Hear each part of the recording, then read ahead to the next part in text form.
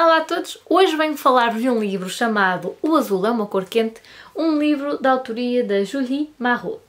Aproveito para fazer duas considerações. A primeira, como se nota, é que o meu francês não é grande coisa.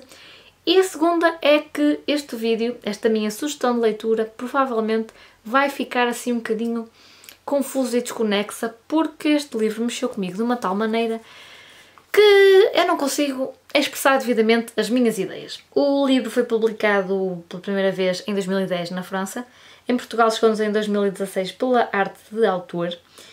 A Arte de Autor é uma editora que tem não só este título, mas outros que vos serão certamente familiares, como O Verões Felizes, que foi recentemente lançado, por exemplo, um, algumas obras da Agatha Christie, como por exemplo Um Crime Expresso do Oriente, e também tenho uma BD da Miss Marple uh, chamada Um Cadáver na Biblioteca.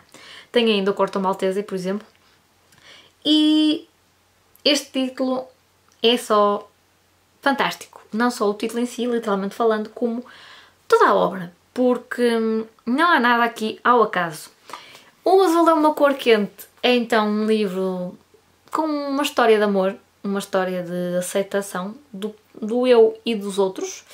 É um livro que convida à reflexão, sem ser exaustivo. É uma história de amor que não é lamechas e, enfim, já não estou a dizer coisa com coisa, eu bem avisei.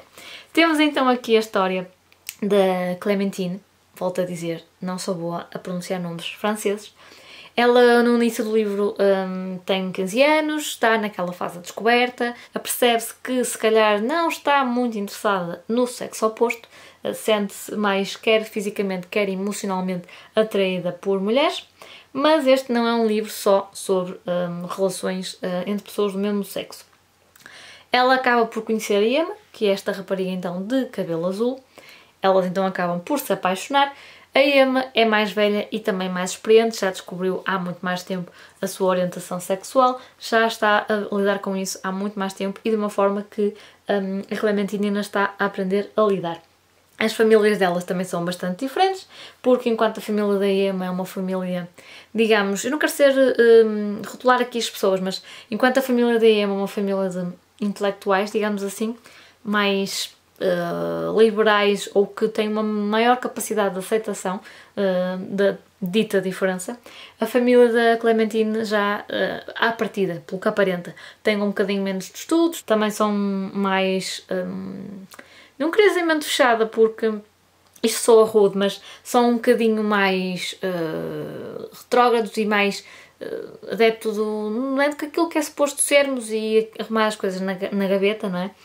E por isso elas têm aqui personalidades completamente diferentes, enquanto a Clementina ainda está no ensino secundário, a Emma já é estudante de Belas Artes, já tem uma vida social muito mais ativa, eh, ela própria tem eh, outros hábitos, pronto. É uma história de descoberta um, de cada uma de si própria, de, individualmente, de si própria em relação à outra, de si própria em relação ao mundo. Não é um livro uh, só sobre uh, a temática LGBT, como muitas vezes é rotulado, e é um livro que muitas vezes escolhe naquelas categorias de maratonas literárias um livro com uma personagem LGBT.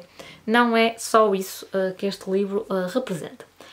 É um livro que começa com uma primeira página que nos arrebata completamente. Eu, quando li a primeira página, estava na praia e, por um lado, apetecia-me ler o livro todo assim de uma assentada e podia tê-lo feito. Por outro lado, eu obriguei-me um, ler aos poucos, porque fiquei com a sensação, mal do comecei, que ele ia dar cabo de mim. E foi isso que aconteceu. Isto já tinha acontecido quando li o livro, quando vi o filme ainda foi pior. O filme tem 3 horas, é um filme francês, uh, como é típico do cinema europeu, não é aquele filme cheio de músicas hollywoodescas e de muita ação e carros e crimes e aventuras, não é nada disso. É um filme muitíssimo parado, com umas 3 horas assim o sugerem. Tem pormenores que não existem no livro e há coisas do livro que não estão no filme.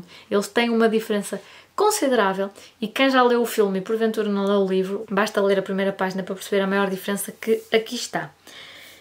É um livro que tem uma arte até muito hum, característica e que eu acho que a arte está ligada ao título, tudo está ligado com o enredo, com os personagens. Acho que aqui nada foi deixado ao acaso e isso faz-me gostar ainda mais dele.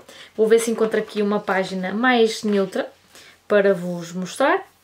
Era então a isto que eu me referia. Uh, a vida não é bem, bem preto e branco, mas é cortado esse tom preto e branco, ou por aí, é cortado por tons de azul, muito por causa do cabelo da, da Emma, que começa por ser azul, mas há outros detalhes em tons de azul no livro e depois também no filme. O filme, aliás, chama-se A Vida de Adele.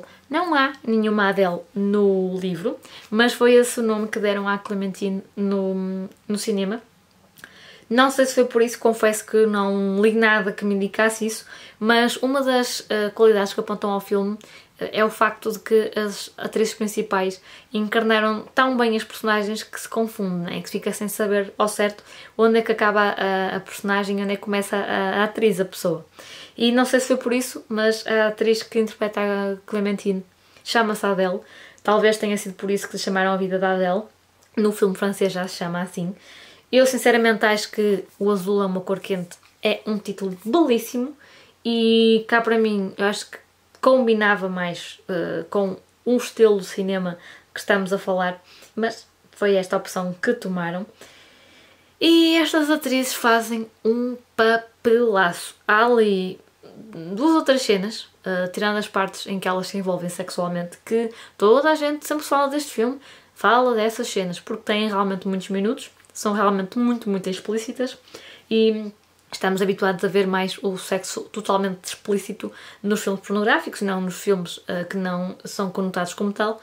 Uh, e não acho sinceramente que sejam uh, cenas desnecessárias ou exageradas. Acho sim é que nos deixa habitualmente desconfortáveis, porque lá está, não é algo que estamos propriamente habituados a ir à, à sala de cinema com os nossos familiares ou com os nossos amigos e ver num ecrã gigante, mas não acho que seja descabido, porque conhecendo esta história percebe-se que fazia ali muito sentido, como outras cenas que eu não posso dizer aqui, mas que nota-se mesmo que as pessoas estão a viver aquilo ao máximo, que as atrizes estão, não sei, possuídas de qualquer coisa que as faz atingir ali dois ou três momentos de Uou. Não é, portanto, uma história uh, lamechas, é uma história de amor entre duas mulheres, mas não é um, feita para puxar a lágrima ou puxar a frase bonita, embora tenha algumas. Muitas vezes esqueci-me que era uma história de amor entre duas mulheres. Não acho que isso esteja constantemente presente na história. Há sim alguns momentos em que o preconceito está lá, mas não é só isso. É antes uma história de descoberta do eu, descoberta da pessoa com quem estamos, de aceitação das diferenças, tentativa, não é, de se encaixar o puzzle, de se encaixar ali as características de cada um, neste caso de cada uma. É um livro se vê que as ações têm reações, têm consequências, que temos que lidar com elas e que nem sempre sabemos fazê-lo da melhor forma. É um livro triste, doce também uh, e partiu completamente o meu coração. Eu sei que isto é. Eu é que estou a ser lamechas e pirosa a dizer isto, mas é totalmente verdade e acho que se nota que estou um bocadinho perturbada a falar dele porque nunca vou conseguir pôr em palavras aquilo que esta história é. É um belíssimo livro da arte de autor, está muitíssimo bem cuidada esta edição. Estou muito curiosa com o Verões Felizes que acabaram de lançar. E se todas as BDs me mudassem ou me acrescentassem algo como esta, eu realmente não leria mais nada na minha vida, senão banda desenhada, mais concretamente as novelas gráficas, que como sabem é mesmo a minha praia. Gostei muito do livro, do filme nem tanto porque não sou apreciadora de cinema europeu, são 3 horas, por isso estejam preparados para um filme lento, mas existem diferenças e por isso eu pessoalmente preferia a banda desenhada, mas vocês, para o saberem, não há nada como lerem e verem as duas coisas, não é? Eu vejo-vos então no próximo vídeo. Até lá, boas leituras e que vos apareçam histórias como estas ao longo da vossa vida. Por hoje é tudo até à próxima. Adeus!